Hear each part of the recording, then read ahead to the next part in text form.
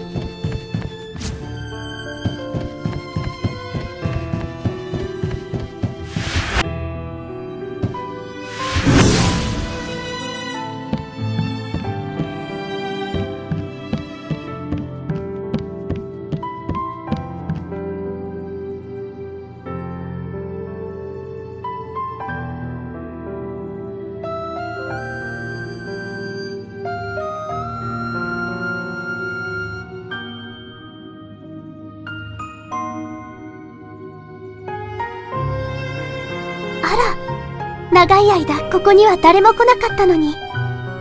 生命の息吹を感じる。あなたは生きているミスティあ変な質問をしてごめんなさい。ここはいつも私と同じような魂が来ているだけだからちょっとドキドキしちゃいました。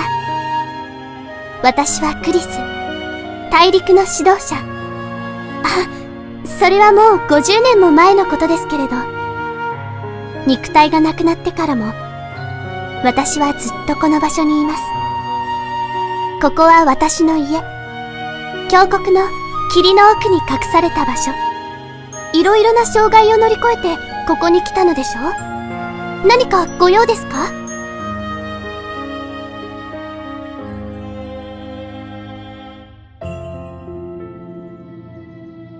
エルミスティ？えっと、魂は生きているけれど生き物ではないの。幻覚を持つミスティが亡くなった時、体内の幻覚が非常に強ければ、霊幻覚という形で世界に留まることができます。霊幻覚は死んだミスティの思考や感情を集め、それをもとに幻影の体を再現するのです。もちろん、幻影の体は全てのミスティに見えるわけではありません。霊幻覚を見ることができるのは、自身も幻覚を持つ、テオミスティ以上のミスティだけです。幻覚は、霊幻覚と直接交流し、映像としてミスティの目に姿を映すことができるのです。もしあなたが私と同じようなエルミスティを見たら、声をかけてあげてください。彼らは生きているミスティに危害は加えません。普段、彼らが誰かと接触することはありません。喋る相手も自分自身だけ。ですから、もしあなたがミスティを見つけてあげたら、彼らはきっと喜ぶはずです。